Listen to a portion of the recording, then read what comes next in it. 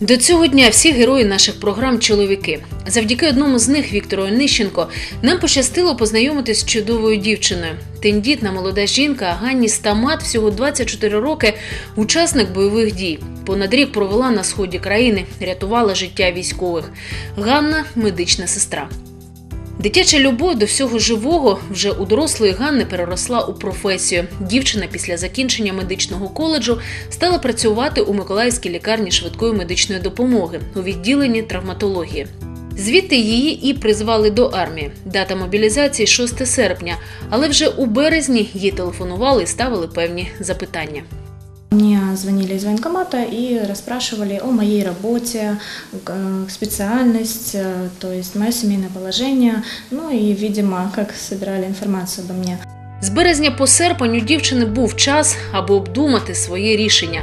Тому, коли зателефонували з сільської ради і повідомили про повістку, несподіванкою для Ганни це не стало. Вона пішла у військкомат і поставила свій підпис. Думала долго, то есть я взвешивала, а вот ну, звонок это одно, а когда непосредственно тебе уже ты в руках держишь этот документ, то, конечно же, нужно принять решение. И э, я думала об этом, как я к этому отнесусь, и, конечно же, вот мое решение было таким – идти, и ни дня я не жалею об этом. Просто понимаю то, что все, что там происходило, это, конечно, ужасно. И то, что ну, погибают люди ни за что. И, естественно, мне хотелось помочь. Мне хотелось, э, чтобы эти люди были здоровы и живы. Матері дівчина ще з весни говорила про можливість поїхати в зону проведення антитерористичної операції.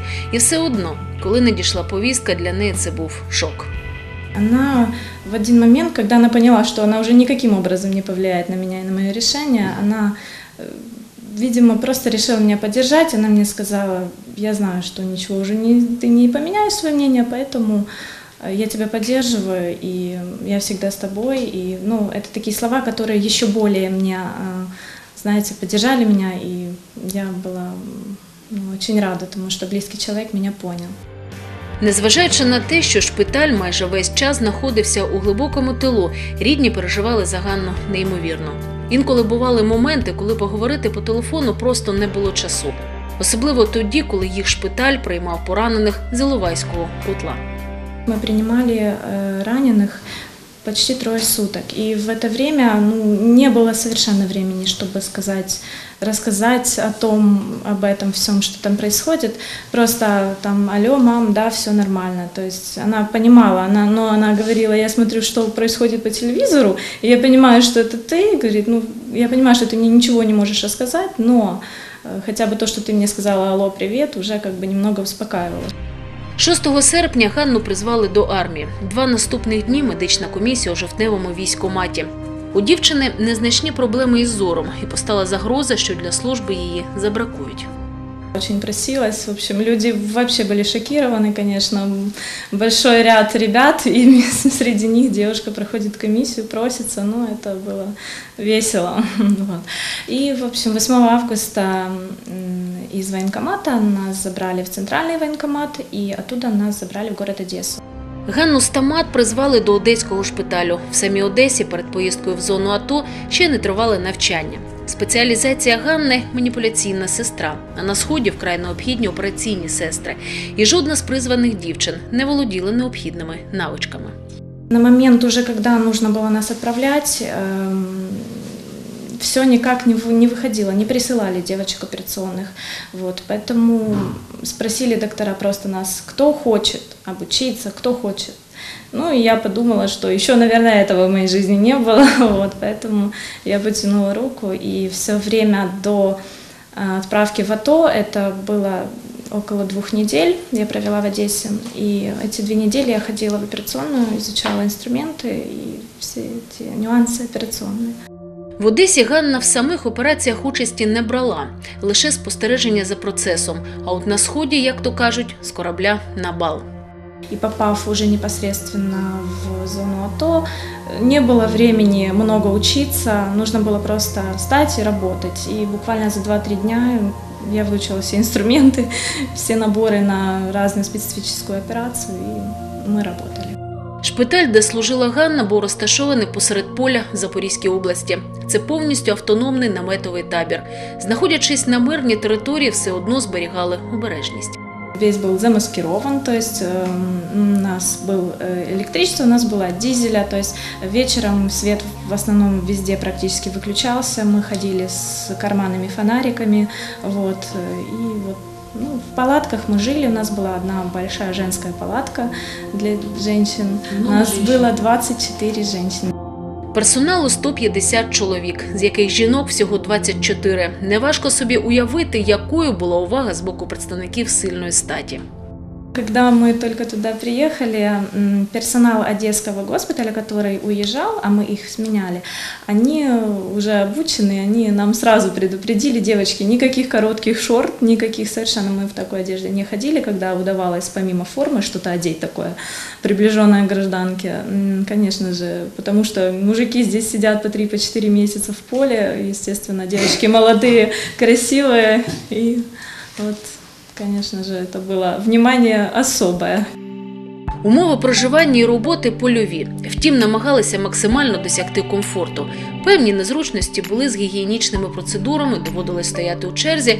Втім, звикаєш до всього. У нас стоял, называется такой керемек. Это такое, как э, машина, а в ней э, на три кабинки душ. И в ней, ну, в ней мы по времени купались, то есть по три человека, потому что все хотят покупаться каждый день. Естественно, это вот по времени ты купаешься, ты выходишь из керемека, ты сияешь, ты так чувствуешь себя, как заново родился, а тут вертолетик тин-тин-тин садится, и тебе вся пыль снова на тебя, и ты вообще прекрасные, довольные все. Але все це абсолютно не засмучувало. Серед колег завжди взаємопідтримка. Всі були в дружніх стосунках. Особливо такі відносини проявлялися, коли доводилось працювати на межі своїх можливостей. Наприклад, тоді, коли стався Іловайський котел. Я в эти трое суток просто не помнила, как меня зовут, честно. У нас э, очень было много раненых, их один за одним вертолет их садился, выгружали, улетал с теми, кого прооперировали. И вот так вот каждые 30-40 минут садятся вертолеты. То есть в одни сутки мы приняли 160 раненых. И вот так вот трое, почти четверо суток. Шпиталь, де служила Ганна, був одним з перших, хто приймав поранених. Надавши оперативну допомогу, військових далі відправляли у стаціонарні шпиталі Запоріжжя та Дніпропетровська. Вперше побачивши поранених, Ганна була у шоковому стані, незважаючи на певну підготовку у відділенні травми в лікарні швидкої медичної допомоги та психологічну підготовку вже в Одесі, дивитися на скалічених людей було важко.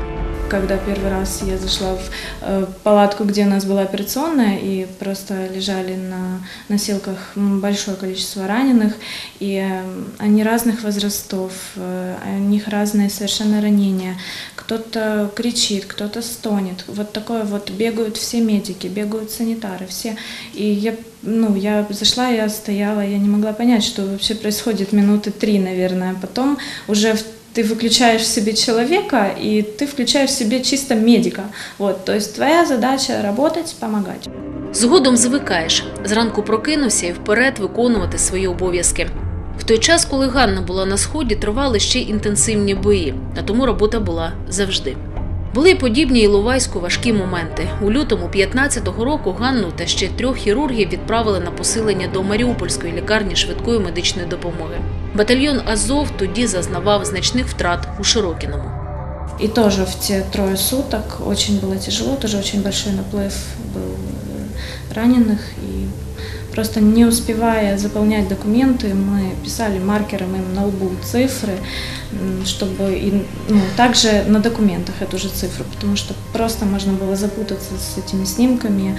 Все ребята, они после взрывов, они оглушенные, они не слышат, что я его спрашиваю, то есть его фамилию, там имя, он ничего не слышит, он начинает кричать.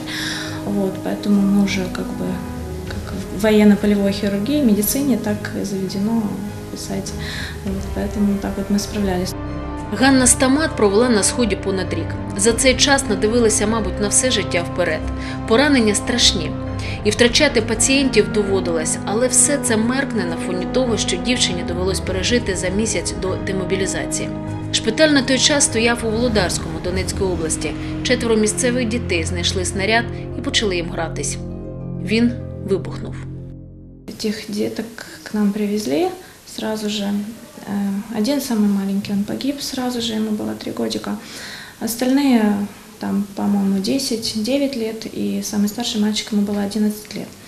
Вот. э, Крайне тяжелые, конечно, ранения были, ну, все-таки дети, организм маленький, совершенно молодой. Вот. Ну, самого старшего мальчика его больше всего взяло, и я отстояла шестичасовую операцию, мы ему делали три ампутации, краниотомию, вот, э, шили лицо, глаза, то есть, когда ты, конечно, жалко любого раненого, взрослый, но когда на столе у тебя всего лишь маленькое тело занимает пол стола, это уже жутко. И, конечно, видеть это, когда ты понимаешь, что маленький человечек, он уже навсегда инвалид. И я терпела, это уже было практически год, уже оставалось месяц до того, как приехать домой. Эм, Ну, я же совершенно уставшая, очень большая же се- операция была длительная, емкая. И приехав, э, где мы там базировались, где мы жили, я позвонила мама, просто спросила, как дела. И я, я просто разрыдалась. Я ничего ей не могла сказать вообще. Там на сході надзвичайно важливо, аби поруч були люди, яким довіряєш, які тобі допоможуть.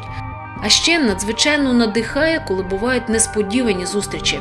З Віктором Оніщенком, про якого ми говорили на початку програми, Ганна познайомилась саме там, у Володарському шпиталі, де Віктору робили операцію. Такі зустрічі надзвичайно надихають. Так приємно побачити земляка, коли ти далеко від дому. Это было очень приятно. Ну, конечно, ко всем э, раненым послеоперационном периоде там относишься по-хорошему. Ну вот э, присутствие на операции этого Виктора нашего Онищенко п- заходила в палату немного чаще, чем к другим навестить.